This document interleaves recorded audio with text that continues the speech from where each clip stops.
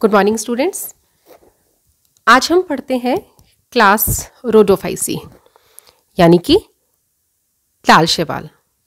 The members of class Rhodophyceae are commonly known as red algae हम इन्हें लाल शेवाल के नाम से जानते हैं। इनका जो रेड कलर है, एक water soluble pigment R phyco की उपस्थिति के कारण होता है। आर फाइकोइरथ्रिन की उपस्थिति के कारण जो क्लोरोफिल ए का ग्रीन कलर है, वो छुप जाता है। इस ग्रुप के अंदर 831 जनरा और नियर अबाउट 5250 स्पीशीज़ हैं। कुछ एक स्पीशीज़ को छोड़कर सभी स्पीशीज़ जो हैं, वो समुद्र में पाई जाती हैं मरीन होती हैं।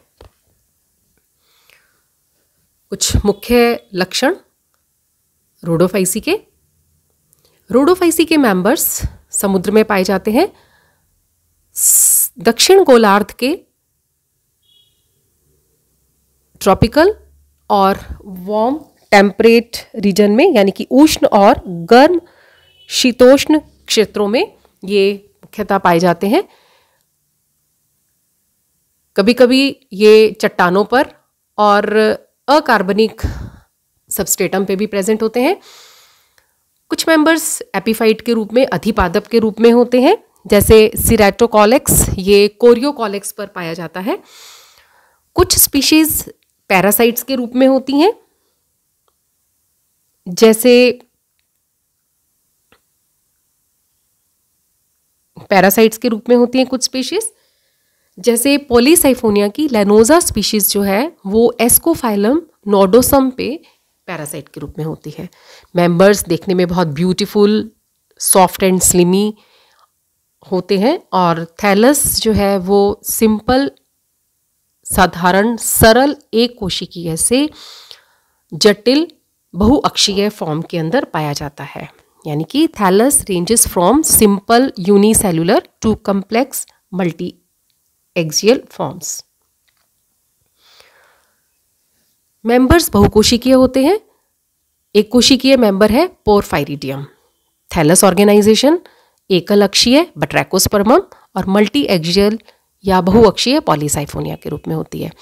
Red colour is due to the presence of R phyco and R phycocyanin R phycoerythrin अधिक मात्रा में होता है और आर फाइकोसाइनिन जो है वो कम मात्रा में होता है। दोनों ही फाइकोबिलन पिगमेंट्स हैं। क्लोरोफिल ए क्लोरोफिल डी इसके साथ साथ एल्फा एंड बीटा कैरोटीन्स पाए जाते हैं जेंथोफिल्स में। Lutein zeaxanthin violaxanthin flavoxanthin and biliproteins जो है वो प्रेजेंट होते हैं। Reserve food material floridean starch और गलेक्टोसाइड फ्लोरिडोसाइड्स के रूप में होता है। सामान्यतः पायरेनॉइड्स नहीं पाए जाते बट इसकी जो सब ऑर्डर है बेंगियोइडी उसके अंदर पायरेनॉइड्स प्रेजेंट होते हैं। सेल वॉल में आउटर लेयर जो है, वो पैक्टिक की बनी होती है और इनर लेयर जो है, वो सेल्यूलोज की बनी हुई होती है। साथ ही साथ पॉलीसल्फेट एस्टर्स भी पाए जाते हैं। दो सेल्स के बीच में सेप्टा होते हैं, जिन्हें हम पिट कनेक्शंस कहते हैं, यानी कि पिट कनेक्शंस प्रेजेंट होते हैं। रिप्रोडक्शन अलैंगिक जनन मोनोस्पोर, बाइस्पोर, टेट्रास्पोर और पॉलीस्पोर्स के द्वारा होता है और सेक्सुअल रिप्रोडक्शन जो है वो वोगेमस प्रकार का होता है, यानी कि विषम युग्मक प्रकार का होता है। मेल रिप्रोडक्टिव सेल्स जो है वो नॉन मोटाइल होती हैं, अचल होती हैं, जिन्हें हम स्पर्मेशिया या स्पर्मेशिया कहते हैं और सिंगल को हम स्पर्मेटेंजियम कहते हैं। स्पर्मेशिया कहते हैं जो कि singly which are bond singly in spermatangia जिस ऑर्गन के अंदर या जो स्पोर जिसे हम स्पोरेंजियम बोलते हैं, यहाँ पर हम उसे स्पर्मेटेंजियम बोलते हैं।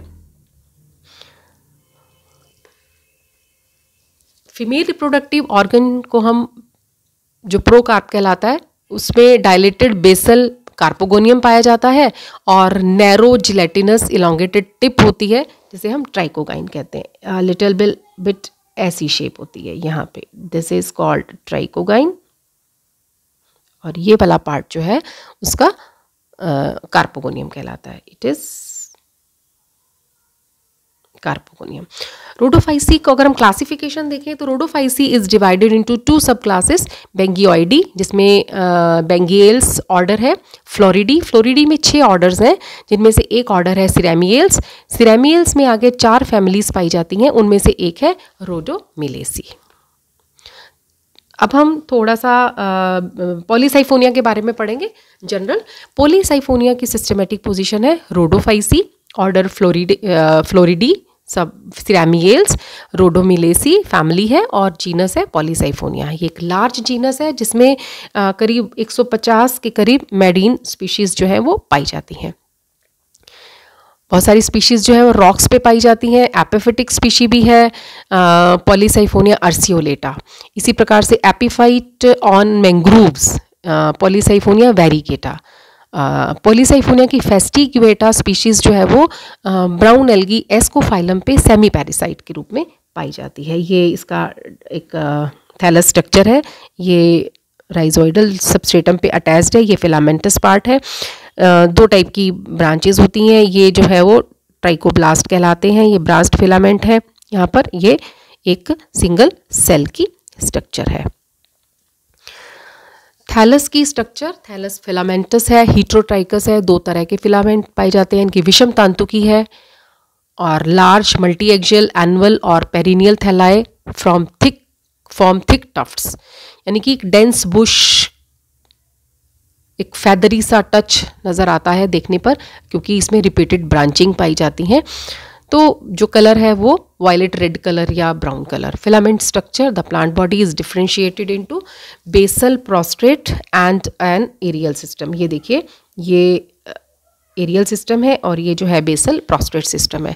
Prostrate system creeps over the substratum substratum के ऊपर रेंगता है। इस सिस्टम में वेल डेवलप्ड है ये और इसमें यूनिसेलुलर राइजोइड्स पाए जाते हैं। और जो डिस्टल एंड है राइजोइड्स का, वो ब्रांच्ड और लोब्ड होता है, इसे हम हैप्ट्रॉन कहते हैं। प्रोसेस सिस्टम से ही मल्टी एक्जियल एरियल ब्रांचेस निकलती हैं, जो कि इरेक्ट सिस्टम या ऊर्ध्व तंत्र बनाती हैं। मेन एक्सिस और अदर लॉन्ग एरियल ब्रांचेस में सेंट्रल साइफन्स पाए जाते हैं, जो कि इलांगेटेड सिलेंड्रिकल सेल्स के बने हुए होते हैं और इनके चारों तरफ़ जो है रिलेटिवली छोटी सेल्स होती हैं स्मॉलर साइज़ में जिन्हें हम पेरीसेंट्रल सेल्स या पेरीसेंट्रल साइफन्स कहते हैं। सेंट्रल और पेरीसेंट्रल साइफन्स की सेल्स आपस में इंटरकनेक्टेड होती हैं थ्रू पिट कनेक्शंस ठीक है? ये जो है पिट कनेक्शंस के द्वारा जुड़ी हुई होती हैं। मेन एक्सिस में दो टाइप की ब्रांचेस पाई जाती हैं। एक होती हैं ब्रांचेस ऑफ़ लिमिटेड ग्रोथ जिन्हें हम ट्राइकोब्लास्ट या शॉर्ट ब्रांचेस कहते हैं, और एक होती हैं अनलिमिटेड ग्रोथ की ब्रांचेस जिन्हें हम लॉन्ग लिटरल ब्रांचेस कहते हैं। जो ट्राइकोब्लास्ट हैं, यानी कि जो शॉर्ट ब्रांचेस हैं, ये मेन एक्सिस और लॉन्ग ब्रांचेस दोनों से निकल सकती हैं स्पाइरल मैनर में निकलती हैं, ये यूनी होती हैं। एक अक्षीय होती हैं और इनमें पेरीसेंट्रल साइफन्स नहीं पाए जाते। एक पंक्तित हैं और लेकिन द्विभाजी शाखित हैं, यानी कि डाइकोटोमसली ब्रांच्ड होती हैं। ये ब्रांचेस यूजुअली इन पर मेल और फीमेल रिप्रोडक्टिव ऑर्गन्स जो है वो पाए जाते हैं। अनलिमिटेड ग्रोथ की जो ब्रांचेस होती हैं, यानी कि लॉन्ग लेटरल जो ब्रांचेस हैं, वे शॉर्ट ब्रांचेस की बेसल सेल से निकलती हैं। ये करीब मेन फिलामेंट पर जो है चार से चौबीस साइफन्स होते हैं। सेंट्रल साइफन्स और पेरी सेंट्रल साइफन्स में आपको पहले भी बता चुकी हूँ कि इनमें पिट कनेक्शंस होते हैं। इन पर रिप्रोडक्टिव ऑर्गन्स जो है वो नहीं पाए जाते। एक सिंगल सेल की स्ट्रक्चर अगर हम लें तो सेंट्रल और पेंड्री सेंट्रल साइफन्स में इलांगेटेड सिलेंड्रिकल सेल्स के द्वारा बनी हुई होती हैं। प्रत्येक सेल एक केंद्रीय या यूनिन्यूक्लिएट होती है, जिसमें पैराइटल डिस्कॉइड क्रोमेटोफोर्स पाए जाते हैं और पायरेनॉइड्स नहीं पाए जाते। सेल वॉल की आउटर लेयर जो है वो पैक्टिन की बनी होती है और इनर लेयर जो है वो सेल्यूलोज की बनी हुई होती है। Reserve food material floridean starch के रूप में होता है। तो ये कॉमन सी रोडोफाइसी क्लास के करेक्टर्स हैं और साथ ही आज हमने पढ़ा कि पॉली इसका एक मेंबर जो हमारे सिलेबस में है पॉलीसाइफोनिया उसकी संरचना कैसी होती है थैलस की स्ट्रक्चर कैसी है और एक सेल की संरचना कैसी होती है। This is all about Rhodophyceae कल के लेक्चर में हम पढ़ेंगे reproduction in Rhodophyceae thank you